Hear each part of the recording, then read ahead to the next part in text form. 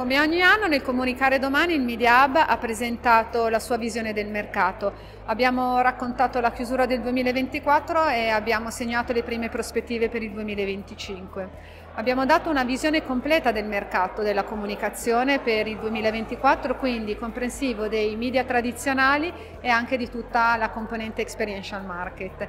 Per quanto riguarda il mercato pubblicitario tradizionale lo stimiamo in crescita del 5,8% rispetto al 23, quindi significa 10 miliardi e mezzo, eh, trainati fortemente dal video. Abbiamo dato una fotografia che noi consideriamo più attuale dei rapporti di forza tra le componenti che rappresentano il mercato, suddiviso per audio, video e testo.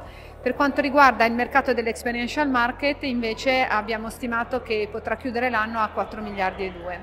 Per il 2025 eh, le, le, la nostra visione è alquanto non è chiarissima ancora, nel senso che siamo preoccupati di alcuni segnali deboli e siamo preoccupati per la tenuta dei consumi. Per tale motivo prevediamo una crescita, ma una crescita un po' calmierata rispetto al 2024, pari a un più 1,9%.